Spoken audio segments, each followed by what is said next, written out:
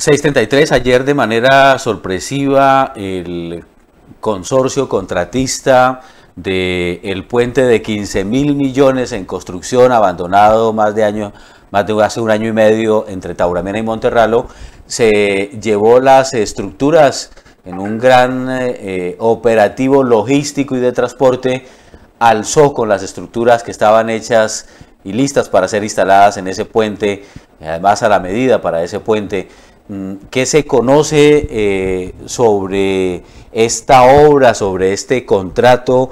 Eh, le hemos preguntado al secretario de Infraestructura de Tauramena, que dijo que no se pronunciaba porque había un proceso jurídico, el alcalde nunca contestó, y la Secretaría de Infraestructura del departamento dice que es la alcaldía de la que debe dar respuestas. Por eso le preguntamos a la eh, diputada Blanca Lilia Vargas, quien es eh, tauramenera, ¿qué conocen ustedes? Porque la preocupación en Tauramena es grande sobre esta gran inversión y el futuro de esa obra. Diputada, buenos días. Muy buenos días, un saludo cariñoso para todos los radioescuchas y para ustedes ahí que nos ayudan a comunicarnos con nuestra comunidad. Pues el tema del puente es una gran a mi manera de ver, tragedia para nosotros los, los y para Casanar en general, para el sur sobre todo, porque es una eh, obra que estábamos esperando con gran ilusión, que nos dimos una pela, por llamarlo de alguna manera, para que ese puente se hiciera, que no fue nada fácil.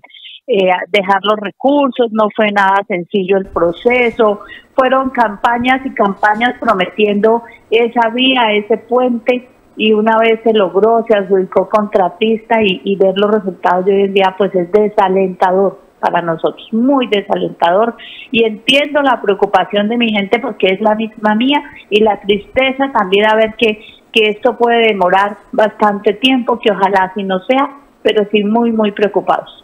Pero, mm, ¿qué se sabe de la acción del contratista ayer de llevarse las estructuras que tenía en una bodega en Tauramena, estructuras que además estaban diseñadas, hechas a la medida para ese para este puente entre Monterralo y Tauramena. Yo le voy a hablar de, de lo que yo alcanzo a ver por encima, pues no, eh, de eso debe tener pleno conocimiento pues el señor alcalde, el señor secretario de infraestructura, puesto que ellos heredaron ese, ese proceso contractual que fue de la administración anterior. Lo que se hizo fue contratar ese puente, entiendo que hubieron dificultades eh, de tipo de orden público, o sea, mientras estuve yo ahí de concejal hubieron ese tipo de dificultades, luego se garantizó la obra con el ejército, el contratista tuvo mil y mil dificultades, eh, con, eh, digamos, no supo manejar el tema con la comunidad en temas laborales, tuvo muchísimas dificultades. Luego empezó a trabajar, digamos, cuando se lo permitía el caudal del río. Sabemos que ese es el río Fusiana, que es un río pues, que en invierno definitivamente no se puede trabajar. Tuvo muchísimas dificultades y él, mientras iba construyendo las zapatas del puente, mientras podía trabajar allá, entendíamos que iba trabajando en la estructura, en unos talleres que tenía para eso en el área urbana. Eh, entiendo que se le acabó el dinero, que no quiso es, hacer sesión de contrato. Entiendo también que el municipio no le podía adicionar porque para adicionar un contrato pues debe, pues debe tener demostrable un avance de obra y creo que tampoco lo tenía. Entonces entraron ahí como en un limbo en, que usted debe hacer y el otro usted debe hacer, no puedo y bueno los resultados no puedo contextualizarlo en el último tiempo, puesto que yo no puedo hacer, o sea, sí puedo, pero obtener solamente información. Pero lo que hasta lo que hablé con el señor alcalde a mediados de marzo era que él iba a, demandar, pues el tema, que iba a hacer cumplir pues pólizas. Hasta ahí yo tengo conocimiento, de ahí para acá no sé si al fin lo hizo, si no lo hizo, no tengo conocimiento, puesto que la comunicación a veces cada uno en sus roles es un poco compleja. Yo, ese es un contrato municipal donde pues eh, ya el control político le corresponde al honorable consejo y pues hasta ahí puedo decirles yo de, esa hora. Que él se lleve las estructuras pues podría hacerlo. Podría hacerlo porque no habría cómo impedir que se las lleve. Además pero le van a servir poco porque están hechas a la medida de esa obra, de ese puente. Sí, exactamente, las venderá por chatarra, me imagino, y le perderá un montón porque efectivamente deben estar hechas a la medida del puente. Ahí también tuvo algunos accidentes laborales donde también tiene unas demandas, puesto que hay una persona que quedó en condición de discapacidad por un accidente laboral que hubo ahí. O sea, es un tema bastante complejo jurídicamente lo que él tiene y pues lo que yo esperaría pues es que efectivamente señor alcalde haya hecho lo que tenía que hacer, que eso fue más o menos esa, esa charla fue a mediados de marzo y pues eso ya está en manos de las autoridades. Y qué le pide uno a las autoridades, pues celeridad, porque esa es una obra que esperamos con ansia los taurameneros, sin embargo hay un compromiso también en este momento del señor gobernador y del señor alcalde de avanzar en las vías en lo que compete a Monterralo y lo que compete a Tauramena, esperando pues el fallo de un juez de que nos permita pues avanzar con ese puente que, tanto esperamos.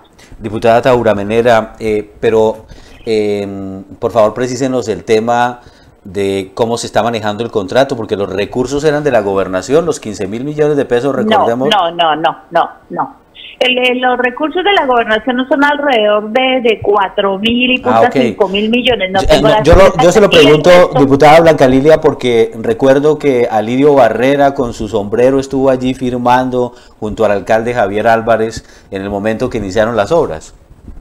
Pero el municipio puso más de 11 mil millones de pesos. O ah, sea, la mayoría de los recursos los colocó el municipio. 11 mil millones del municipio y 4 mil de la gobernación.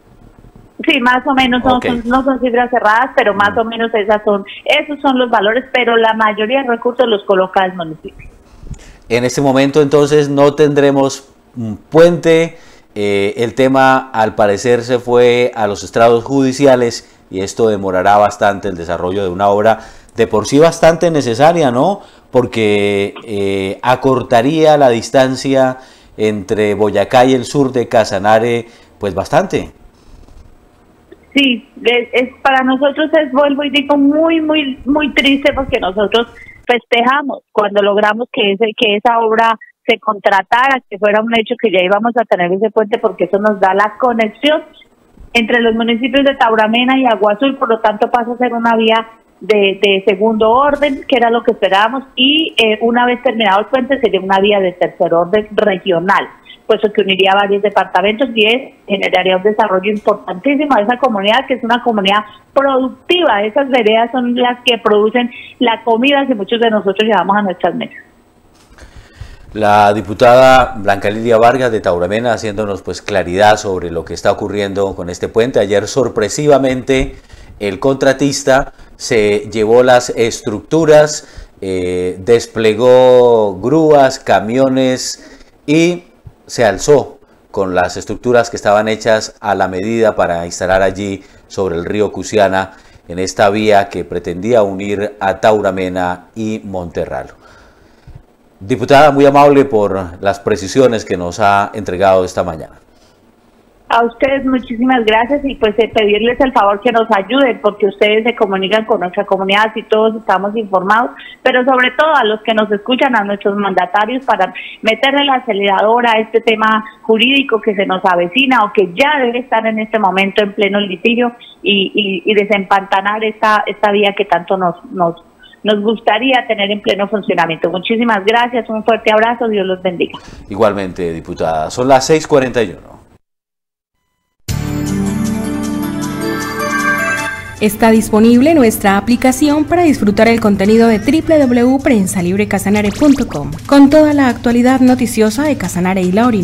Además, nuestros canales de YouTube, Facebook, Twitter y la programación de nuestra radio online 24 horas de noticias y música. Descargue la aplicación en Android Play Store, con la que podrá apreciar el contenido de Prensa Libre Casanare con la mejor calidad y en la palma de su mano. Prensa